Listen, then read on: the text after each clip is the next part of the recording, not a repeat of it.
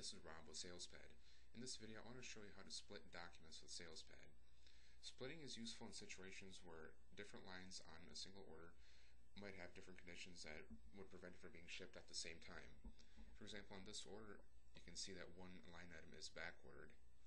But in addition to that we can also have different conditions such as different shipping methods, different warehouses, uh, having non-inventory or drop ship items.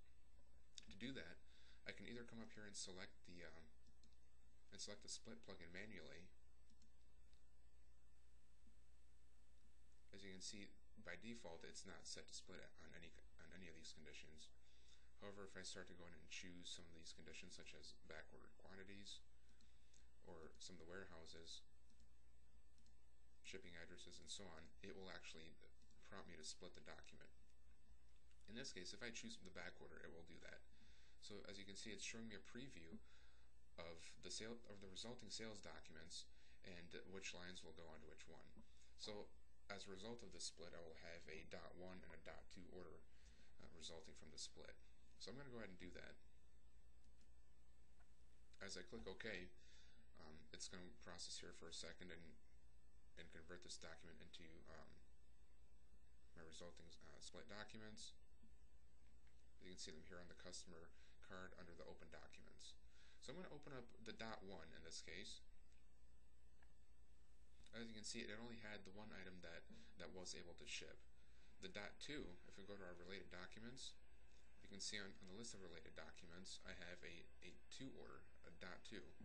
And what this one contains is the item that was back ordered as a result of that split. So a situation this might bring up is wanting to print for example, a packing slip that shows all the items regardless of which shipped and which didn't. And I can print this by going to, print, to print my document, and uh, the summary packing slip in this case will, will prove useful. If I do a preview of this, I can see that this uh, dot one order is showing the items that were shipped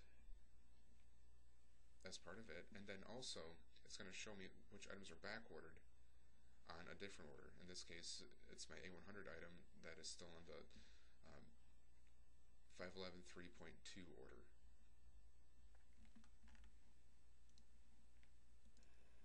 So that showed the manual way of splitting a sales document. It's also possible to split a sales document via the workflow when forwarding the document from one queue to the next, but stay tuned for our upcoming workflow video to see details on that.